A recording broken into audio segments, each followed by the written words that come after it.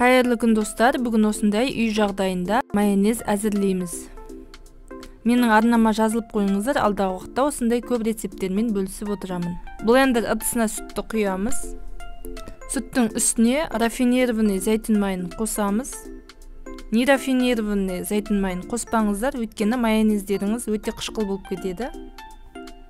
Зайтун майы болмаған жағдайда күнбагыс майын коссаңыздар болады.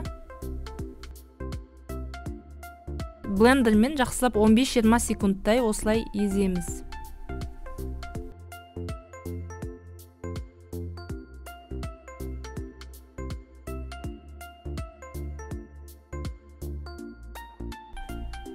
Мінекей осындай коюу коспа шықты оған татымына қарай тоз.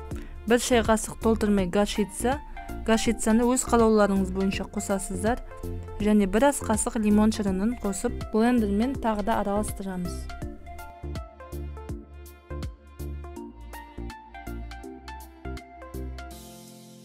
Мінекей үй жағдайындағы майонез дайын болды.